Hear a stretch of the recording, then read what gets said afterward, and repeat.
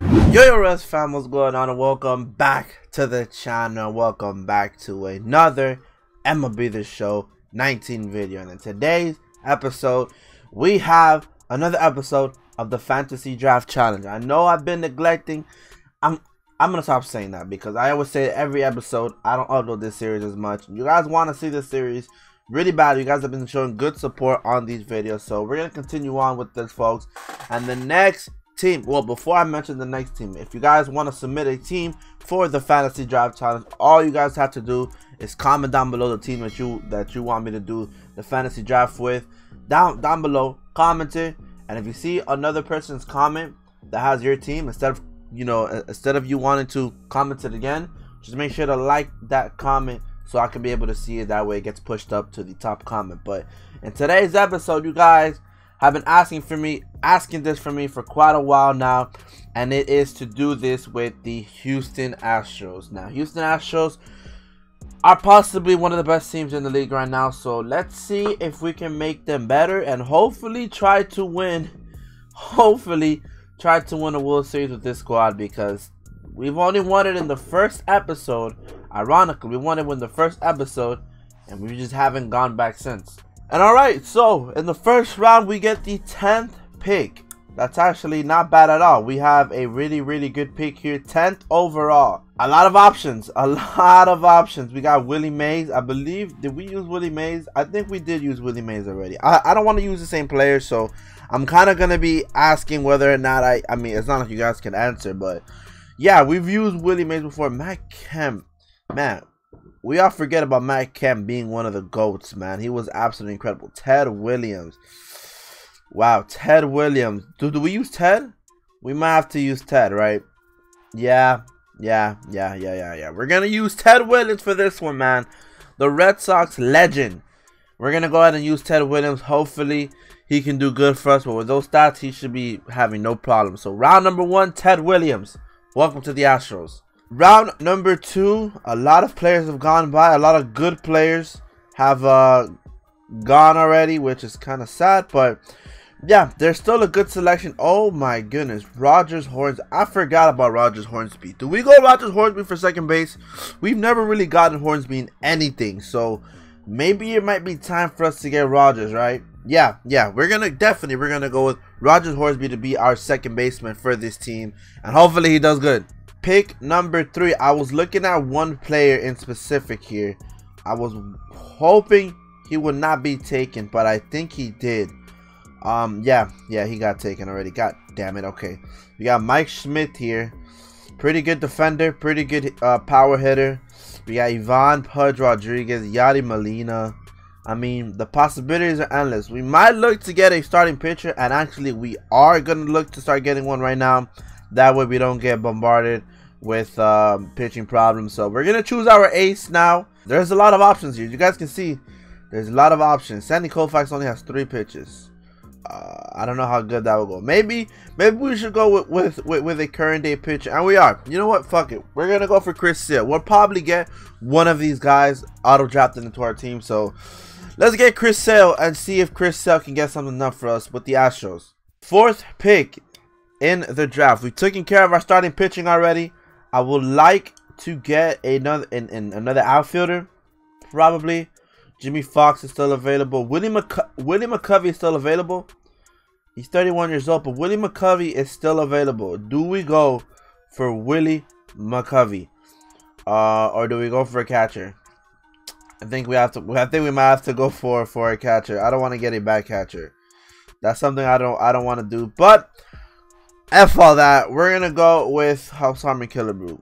Max Power, Willie Stargell, Tony Perez, Miggy Cabrera, Jimmie Foxx, William, Willie McCovey.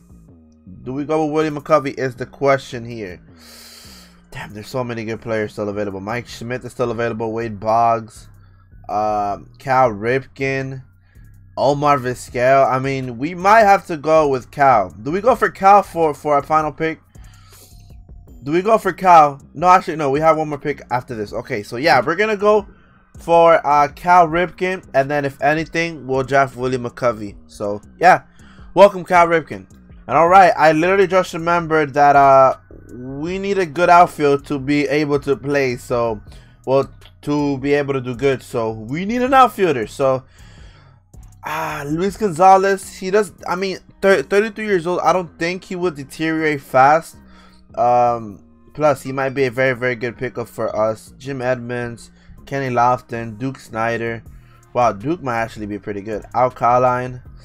Manny Ramirez. Okay, wow, that's actually pretty interesting. Aaron Judge. I think we're gonna go with Jim Edmonds, right? No, Kenny. You know what? Let's go for Duke. Let's go Duke Snider. We never get Duke Snider. so our final pick, we're gonna choose Duke Snider of the Dodgers. Hopefully he does good. I think, yeah, I'm pretty sure he'll do pretty good. So Duke Snider, welcome to the team yeah, we're gonna move on over to the regular season. You guys know how the fantasy drafts go. We're gonna simulate over to the halfway point. If we gotta make some any moves, we will make some moves. But yeah, simulate over to the halfway point, and then we'll check out how the squad is doing and check out how everything is coming along. Everything should be good with this team, so I'm not too worried about it. I'm not too, yeah, I'm not too worried about it. Everything should be good. So let's go ahead and simulate, folks, and see how we do. I'll see you guys in the All-Star game. 25 wins. I, I do want to badly check up on that pitching staff. And look at that, bro. We're just racking up wins. We're off to a really good start. I can't even say that we're off to a bad start. We're off to an amazing start. I hope we have one of the best records in the big leagues. I don't. I we we might not have it, but yeah. I guess I'll go ahead and check on the squad now. And Harry got himself a 281 with 10 home runs and 39 RBIs. Uh, Lindstrom not doing too good though. It's kind of, it's, I mean, he's doing all right. Doing all right. He can definitely get better. And then 20 home run, 28 home runs by Ted Williams. 62 RBIs, 314. Bro, we are, what month are we in? We're in June. We are in June, Ted Williams. I'm gonna need you to chill. We got Rogers Horns. 357 by Rogers Hornsby. 21 home runs, 59 RBIs. Duke Snider right behind him with a high average, 14 home runs, 57. Kyle Ripken's doing his thing right there. Brian McCann not too well. Will Clark, what the fuck? And then Carlos Delgado. Okay. Uh, our catcher, well, who is this guy? He is hitting 347. Kind of tempted to put him over McCann, but we're going to let that one slide. And let's check out our pitching staff. We have got, wait, where the hell is Clayton Kershaw? Okay. Um, we have got a 5 3 record, 317 by Chris Sale. Jamie Moyer, what the fuck are you doing? Uh, not too good. 5 and 3 with the 446 by Corbin. Could be better. I mean, overall, everything could be better. We got Ryan Doe, Roenis Elias. Not doing too good. We might have to switch something up in the uh, in the pitching staff in regards to bullpen and starting pitching. But is Clayton Kershaw injured?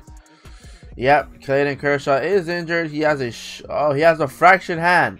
He was 91 with the 346 with 66 strikeouts. Uh, Brett Gardner's injured. Um, Ivan Nova got injured as well, and then Clayton Kershaw. So we might have to see if we can call somebody up from the pitching staff to come into the into the uh, starting rotation because we're kind of suffering a little bit. All right, so we are now at the halfway point at 54 and 35. A really solid record. Could be better, but hey, I'm gonna stop being an overachiever and just be accepting of what we got. We're five games ahead of the Mariners in our division, so that is actually something that I'm quite happy about.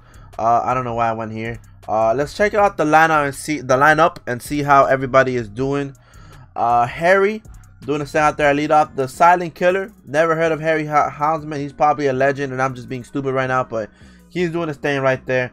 Uh, Freddie Lindstrom, uh, not doing too good at the second hole, so we're gonna see if we can do something about that. But oh my God, this man Ted Williams has 38 home runs and 87 RBIs, 315, 315 average, and it's only July. Like, how are you doing this? And then right behind him, we got Rogers Hornsby, 332, 32 home runs, 87 RBIs. I mean, these two guys together are disgusting. And then we got Duke Snider, possibly the third guy in that group, 21 and 78 with a 318 average. That is pretty good. Kyle Ripken not living up to what I expected him to be uh, expected him to do. He is kind of deteriorating a little bit, so that's kind of sad to see, but hopefully he comes back up. Brian McCann, 347, not producing too much. Will Clark is not producing either, and then Carlos Delgado is doing really bad. So our bottom half of the order does need to be a little bit of uh, some renovation there because it's not doing too good. We got Chris Sale 8 and 3 with the 371. Uh, he is the ace of the group because no one else can stay healthy. Um, 6 and 5 with the 4 484 for Corbin. Uh, here we got Snell, David Wells, and then Roenis uh, Elias. I don't know why Roenis is in the starting rotation. Um, Clayton Kershaw is gonna be he's gonna come back pre pretty soon, so not a bad thing. Uh, why did they call down Frank Viola? Oh, he got injured. Okay, Viola got injured. Uh, looks like we're in a scenario now where Big Sexy might have to be, he might have to get called up. But we're gonna leave that for another time, man. We we can call up Big Sexy whenever we need to call up Big Sexy. But uh, Pedro Astacio is actually doing really good. Uh, 23 years old, 80 overall. I reckon we call him up just kind of see what happens. Um, but who do we call down though? Uh, we might have to call down Blake Snell actually. Oh no, no, we have some spots available. So we'll call up one guy. We'll bring up Astacio to the 40 man roster. Can I add him to the 40 man? Oh, we have a full 40 man. Okay, well, that's kind of shitty. So yeah, let's do something about that. We made the moves now. We're going to bring up Pedro and then we're going to call him up to the big leagues. Uh, he's having pretty good success in AAA or AA. Was that? I think it was AAA. Whatever. He's having pretty good success, so hopefully he brings that over to the big leagues. But now it is the home stretch. Literally the home stretch now. We're to the halfway point. We're going to see if we can do something about this. I mean, we're looking good for playoffs already. But let's see if we can actually make it and win our division uh, and not become a wild card team because that'll be the biggest choke ever. So, yeah, I'll see you guys at the end of the season and hopefully we do good. Alright, so now we are in August. Now we're ending off August. We're about to end the season. Our record took a little bit of a down downward spiral, but our AAA affiliates have finished uh, their season at 80, 94 and 46 and won the division. Wow, that is a very good record. And then our AA as well. So I guess we had some good players all around. Um, we'll just see if our yeah AAA got eliminated, and then our AA does make it past and then we got eliminated there too. Okay, well, what the fuck. And there we go. So we finish off the season 93 and 69, and we have won our division. Uh, we're gonna stop simulating so we can check out the stats and see if we won any awards. Definitely some awards have been won. 100% awards have been won. But let's take a look at the final stat lines of these players. Hi, yo, Harry Heisman actually did really good for us. 32 home runs, 94 RBIs. Definitely a good leadoff guy. Uh, Freddie as well. 21 to 75. What the fuck did Ted Williams just do? 55 home runs, 127 RBIs with a 294 average. His average dipped a little bit, but his oh my god, his productivity was amazing. And then we got Rogers Hornsby with an occasional occasional 48 home runs, 127 RBIs with a 308 average. So a lot of these guys took a bad tumble. And then Duke Snider actually ended up finishing with a better average than both of the guys that were basically all-stars. So 44 home runs, 129, and then a 322 average by Duke Snider. Kyle Ripken got his numbers up, so I'm quite ha happy about that. And then the bottom of the order, the bottom, the bottom of the order did get better. Uh, Will Clark definitely got better, and then uh, McCann did his thing out there. But this, this this Chris guy has been doing pretty good, so we're gonna slot him in over at DH for the playoffs, and then let's take a look at the starting rotation. Chris, Clayton Kershaw, 17 and 4 with a 299, and that's with him being injured for pretty much a long time. Um, David Wells, not too good of a season. Chris Sale, possibly our second ace in the squad with the 390 with 13 and 7. Uh, Corbin did not did not do too bad. He did not do too bad. Frank Viola kind of shit the bed there. Astacio and I mean our, our bullpen is essentially one of the worst I've ever. This is the worst bullpen I've ever had. The worst bullpen I've ever had. Uh, and let's see if anybody wants some uh, some league leaders. Obviously, Ted Williams gonna lead the league in home runs, runs, and then Duke in WAR. So that's pretty good to see. And then Clayton Kershaw winning percentage, and Dennis Eckersley actually got the most saves in the league. So that's quite impressive. And then for awards, delivery man of the whoa wait.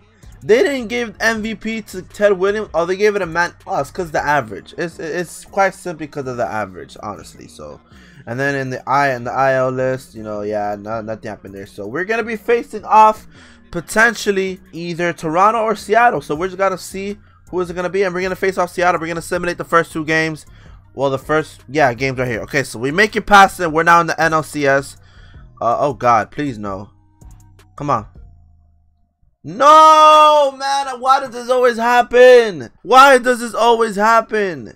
Why does this always happen? Frank Viola. We got eliminated in the NLCS with the Astros. I was hoping for us to go far. This was a really good team, a very balanced team. Um, besides the pitching, the pitching kind of ruined us there, and you guys can see here in the playoffs, we lost the game 10 to 1.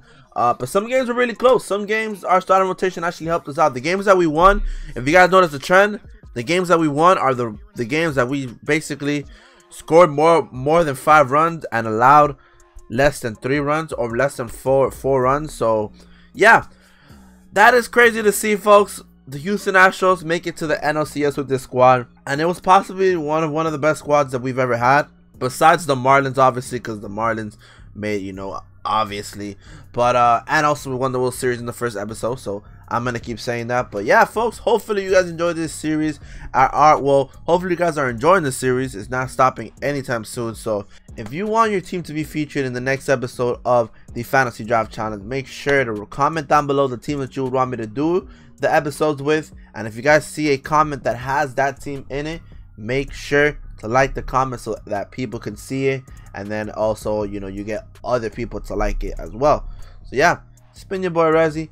Make sure to leave a like, comment down below, and also drop a sub. We're close. We're less than 10 subs away at the time of the recording for 2,000 subscribers. We're closing in on 2K, man. We're right there. And I'll see you guys in the next video, alright? Peace.